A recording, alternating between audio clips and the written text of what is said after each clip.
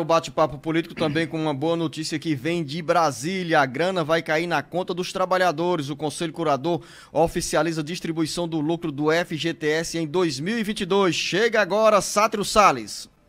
Dinheiro a caminho. O FGTS, Fundo de Garantia do Tempo de Serviço, vai distribuir em 2023 99% do lucro obtido no ano passado. Os beneficiários da grana serão trabalhadores que ao longo de 2022 estavam com a carteira assinada. Serão ao todo distribuídos 12 bilhões e 700 milhões de reais. Segundo a lei, a distribuição do lucro deve ocorrer até o dia 31 de agosto.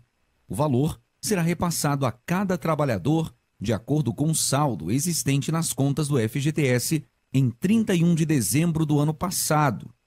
Um detalhe que precisa ser observado: quem começou a trabalhar com direito a FGTS em 2023, por exemplo, não vai receber a distribuição dos lucros. Outro detalhe: quanto maior o saldo, maior o lucro recebido. O depósito será proporcional ao montante que o trabalhador tinha até o último dia de 2022.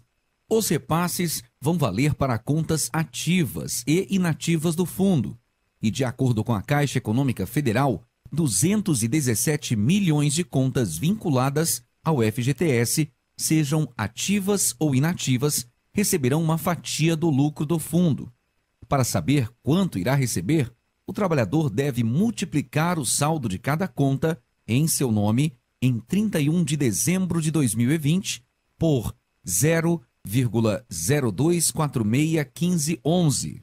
Esse fator proposto pelo Conselho Curador significa, na prática, que a cada mil reais de saldo, o cotista receberá R$ 24,62.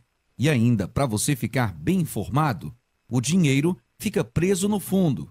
Os saldos das contas serão atualizados até o dia 31 de agosto, mas a distribuição dos lucros não muda as regras para saque dos valores com redação do site Ceará Agora.